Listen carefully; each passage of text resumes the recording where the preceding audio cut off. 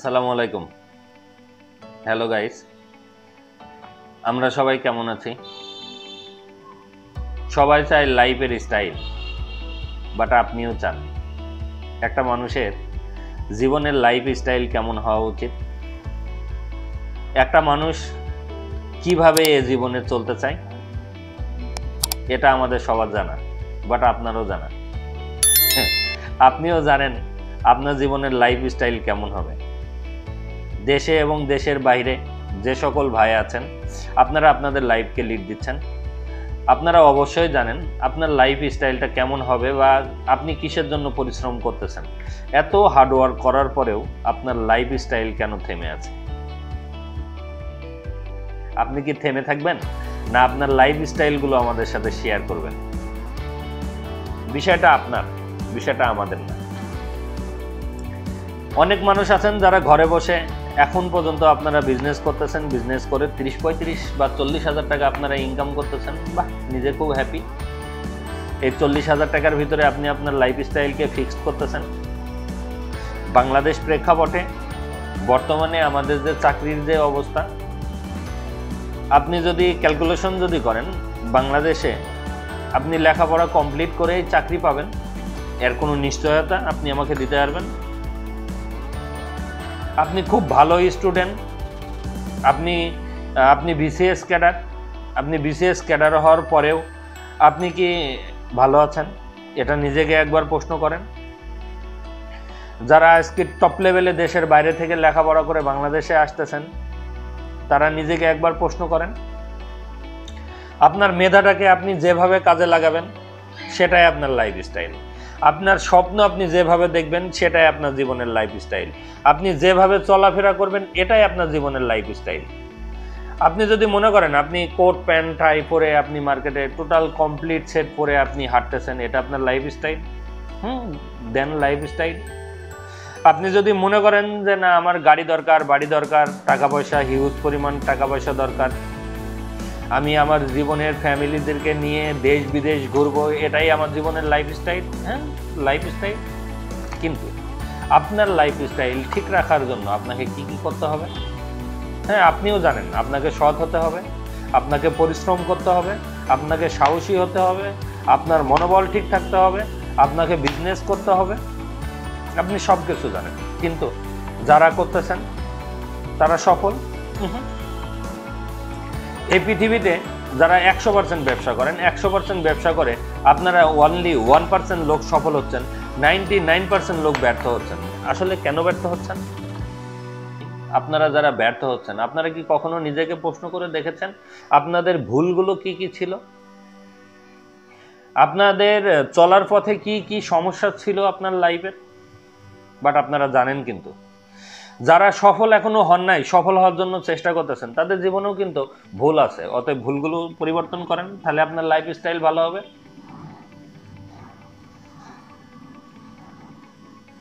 আপনি বর্তমানে আপনার লাইফ স্টাইল নিয়ে কি আপনি হ্যাপি যদি আপনি মনে করেন আপনি হ্যাপি তাহলে আপনি হ্যাপি আমরা সবাই ভালো থাকতে চাই। আসলে যে যেখানে আছি, যে যে কর্মেই থাকি না কেন, আমরা সবাই কিন্তু ভালো থাকতে চাই।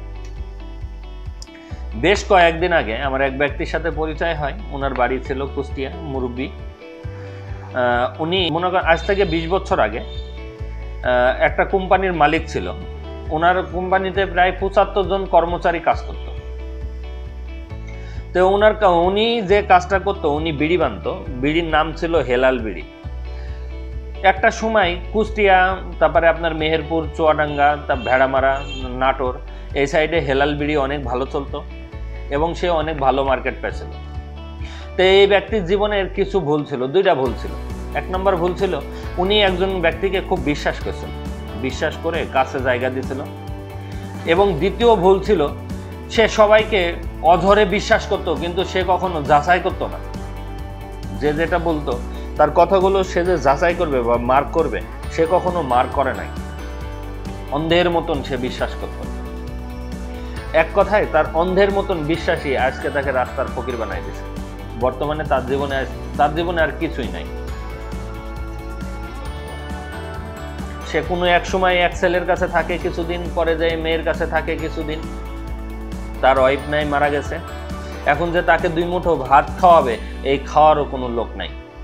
তো ভাইজান, তারও কিন্তু একটা সময় কিন্তু লাইফ স্টাইল খুব ভালো ছিল। তার কিছু ভুলের কারণে সে কিন্তু জিরো পর্যায়ে চলে আসছে। অতএব আমরা যে যেখানে আছি, সবাইকে কিন্তু মুরব্বী হতে হবে। মুরব্বী বয়সে যে তখন আপনি বুঝবেন যে এখনকার বর্তমানের লাইফ স্টাইলটাকে আপনি কীভাবে লিড দিচ্ছেন। আর তখন এই হেলাল কোম্পানির মালিকের মতন আপনারা বলবেন হাই হাই আমার জীবনে কি ভুলটাই হয়েছে? আপনি আপনার লাইফ স্টাইল নিয়ে যদি ভালো থাকতে চান, আপনি যে কাজটাকে, যেটাই করতেছেন, এটাকে ভালোবেসে করবেন এবং আপনি পরিপূর্ণভাবে সেটাকে হিসাবের মধ্যে রাখবেন। রুলিং অবস্থায় রাখবেন। যখন রুলিং অবস্থায় রাখবেন, একটা পর্যায়ে দেখবেন আপনার পরিশ্রমের ফসল আপনি এখান থেকে পাচ্ছেন।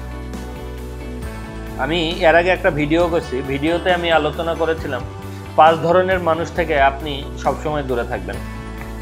এক নম্বরে হচ্ছে অলস মানুষ, দুই নাম্বার হচ্ছে যাদের ভিতরে অতিরিক্ত হিংসা, তিন নাম্বার হচ্ছে নেশাগ্রস্ত মানুষ, চার নাম্বার হচ্ছে বিশ্বাসঘাতকতা যে ব্যক্তি করে, এই টাইপের মানুষ, আর পাঁচ নাম্বার হচ্ছে অন্য মানুষের যারা সবসময় সমালোচনা করে।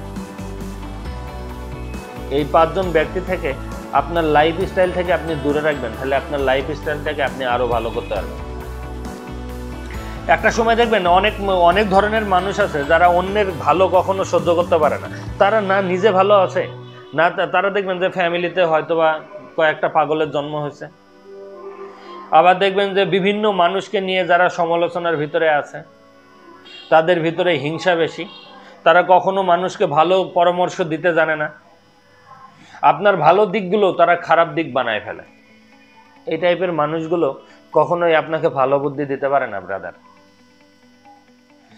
আমরা চাই যে যেখানে আছেন সবার লাইফ স্টাইল পরিপূর্ণভাবে পূরণ করেন।